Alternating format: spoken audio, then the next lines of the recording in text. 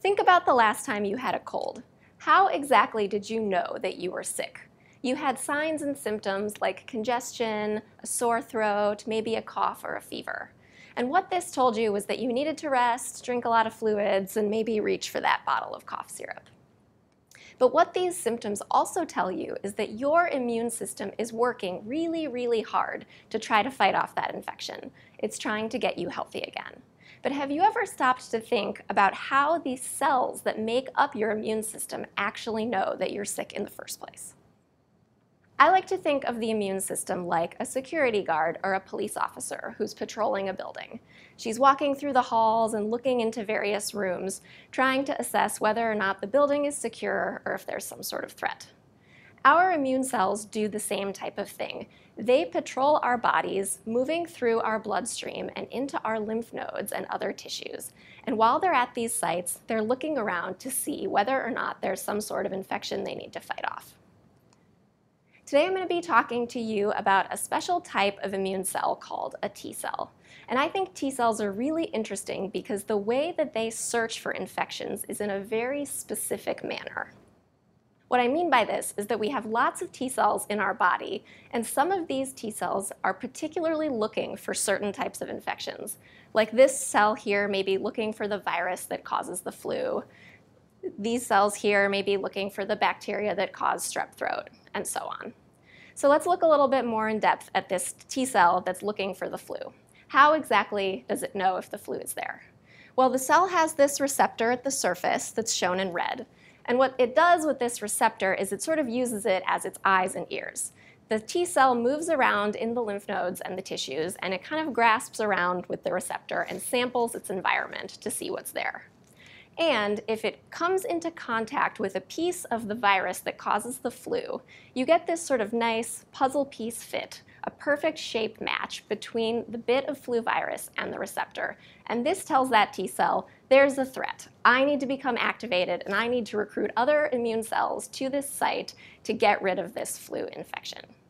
But if you think about it, most of the time we don't have the flu, we're perfectly healthy. But our immune cells are still in this sort of patrolling function. They're still sampling their environment, but what they're coming into contact with are just totally innocuous pieces of our own cells, our own tissues. And so you don't get that nice puzzle piece fit, that sort of perfect shape match, but you do get a little bit of interaction of this receptor with its environment. And so in my research, I'm really interested in understanding what kind of information the cells get from these contacts with normal, harmless things in the environment, and how this can go wrong in the context of disease. So you could imagine that if this T cell sees this harmless little green diamond here and thinks that it's a threat even though it's not, that cell might become activated and start to mount an immune response. But this would be really bad. It would be as if this T cell is kind of sounding a false alarm and calling in all the troops, all the other immune cells to fight off an infection that isn't actually there. And so this is what happens in a class of diseases called autoimmune disease, where the T cells and other cells of our immune system mediate attack on our bodies even though there's no harmful or infectious agent present. And so there are many different types of autoimmune diseases that can affect humans, some of which are shown here. And it's estimated that between 15 and 24 million people in the US alone suffer from these and other diseases. So it's really important that we try to understand what kinds of things can go wrong with T cells and other immune cells that can lead to this kind of disease. And so I've been particularly interested in lupus, now, lupus is a really complicated disease. Some patients present with this sort of classic malar butterfly-shaped rash on their face, but not all. It's only about 30 to maybe 60% of people. Other patients have problems with their kidneys, their brains, the levels of iron in their blood. Um, so because lupus is such a complicated disease and there are so many different manifestations of it that can occur in patients, this implies that there are probably many different types of things that can go wrong. So it's important to study a lot of different types of models of lupus to figure out all of the many different types of things that can go wrong. And so for my research, I was interested in using one of these models of lupus to try to figure out what is actually causing these T cells to sound the false alarm. Why are they starting to attack our own normal healthy bodies? So it's very hard to do this kind of research on people. So instead, I turned to a mouse model. Now, mice don't get that classic malar rash, and even if they did, it would probably be pretty hard to see with all that fur. Um, but what we can do instead is perform a simple blood test to see if the mouse has a disease that looks like human lupus. And so in this mouse that I started studying, we looked at its blood and found that there were antibodies present that can cause harm to our own tissues. So that meant that this mouse had lupus, or a disease that looked like lupus.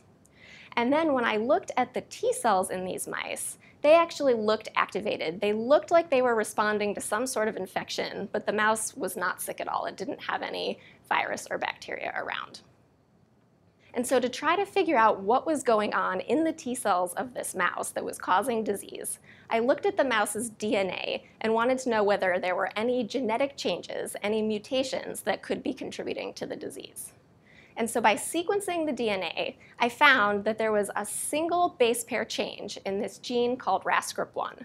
And so I wanted to start investigating how altering this molecule, RASGRP1, could lead to these disease features that we see in the mouse. So what does RASGRP1 actually do? Well, the gene encodes a protein that's really important for turning signaling pathways on inside of cells.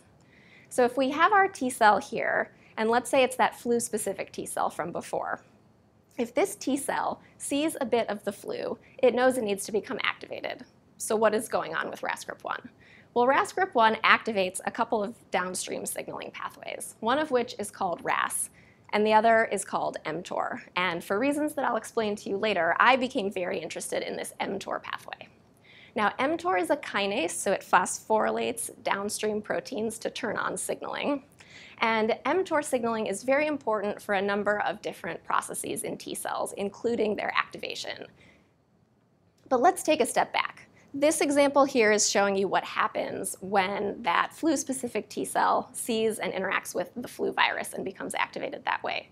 But most of the time, as you know, thankfully, we don't have the flu. We're not always sick. And so I was really interested in whether this signaling pathway from RASGRP1 to mTOR was also present in cells from just a normal and healthy mouse. And so to address this, I took T cells out of normal and healthy mice, and I measured the level of signaling through RASGRP1 to these pathways, RAS and mTOR. And what I found was that RASGRP1 does send a low level of signal to mTOR in these normal healthy T cells, but not to RAS. So it seemed like this mTOR pathway was really important in the normal and healthy cells. And what this also told me is that T cells can experience a range of mTOR activity. So in the context of infection, they get a really strong signal.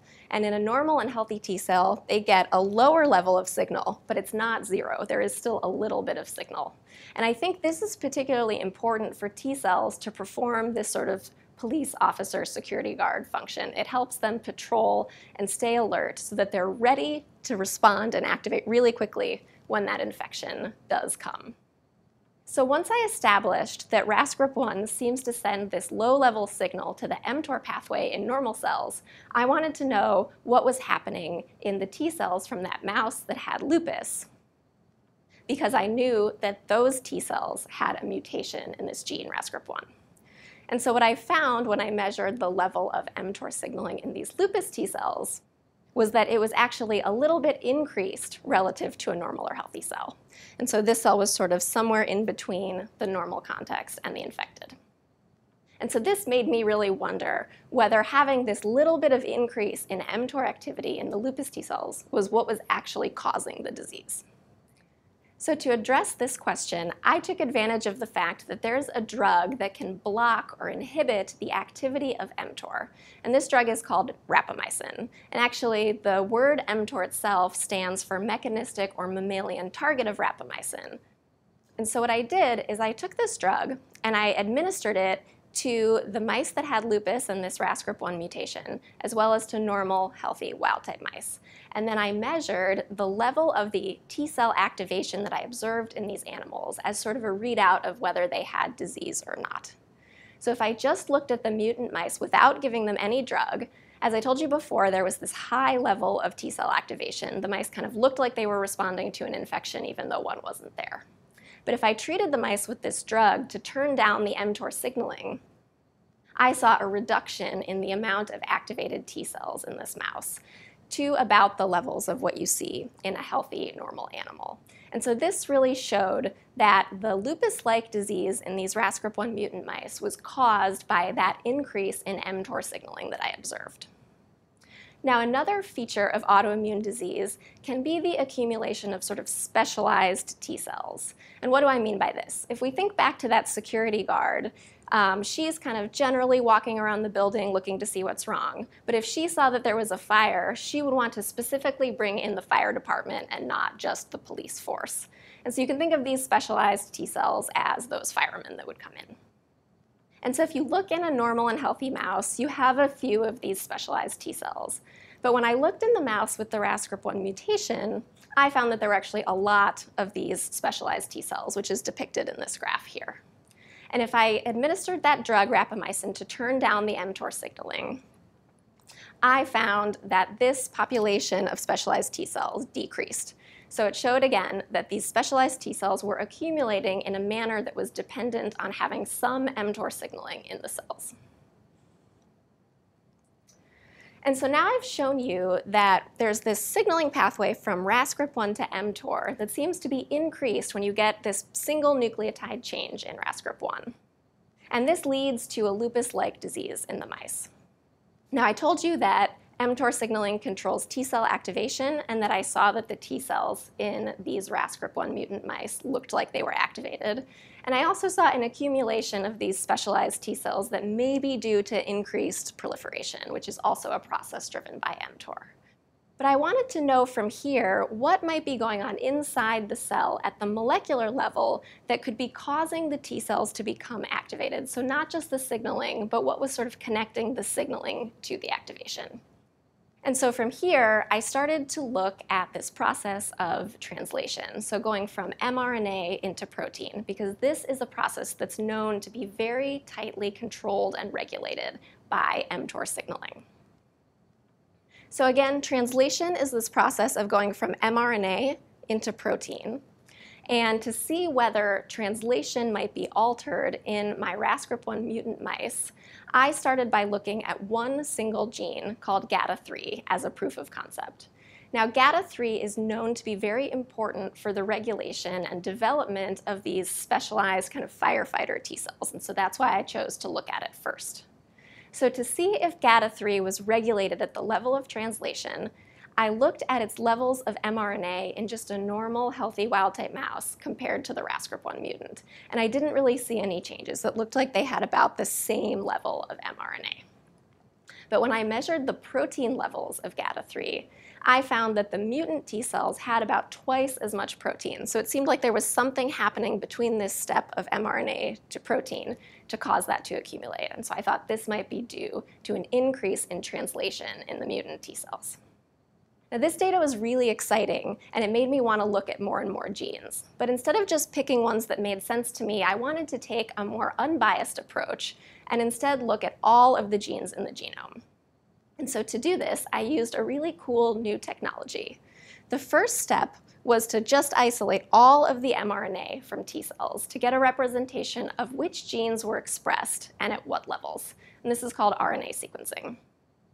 But to look specifically at the mRNAs that are being translated, what I did was a technique called ribosome profiling. So I took the ribosomes out of cells and isolated the mRNAs that are bound to those ribosomes, so only those mRNAs that are actively being translated in the cells. And then I sequenced that RNA as well. And by comparing the level of expression in the ribosome dataset to the mRNA, I could get a sense of which genes were being regulated at the level of translation. And I was really excited to see that there were around 600 genes that seemed to have increased translation in the mutant T cells compared to the normal wild type ones. And this is a really ongoing, active area of research in my lab now to try to figure out what these genes are doing in the T cells and how they may be contributing to the disease. And so this is an exciting open question that we're hoping to answer later on.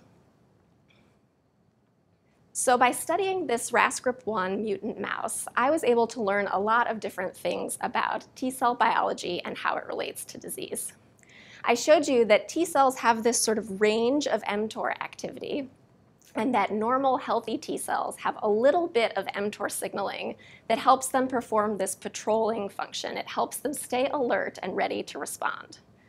But if you have a mutation in this gene RASGRP1 and it increases the level of mTOR signaling a little bit, this can cause that T cell to increase its mTOR activity, and then that T cell can become more activated, can start to become more specialized, and can, can contribute to the lupus-like disease that we see in the mice. And we think that this is due to mTOR's regulation of translation in cells. And so this is what sort of causing the T cells in this model to sound that false alarm. They have this little bit of elevated mTOR activity, and they're, instead of knowing that everything is fine, they are contributing to disease. And so this research, I think, leads to a lot of really interesting questions and future directions. So is this phenomenon of increasing the level of mTOR activity in a T cell only applicable to this model of lupus? Or is it true for other types of autoimmune diseases as well? Is this sort of a universal or a unique phenomenon? Additionally, I looked at the mTOR pathway um, in these T cells from this lupus mice and saw differences, but perhaps other signaling pathways are also altered in normal T cells in the context of autoimmune disease. And perhaps these other pathways also sort of tune the reactivity of those cells. And in general, I think this research shows that performing basic research to understand signaling pathways and general T cell biology is a way to get a deeper understanding of autoimmune diseases like lupus. And hopefully one day will contribute to our ability to design better, more rational therapies to help patients.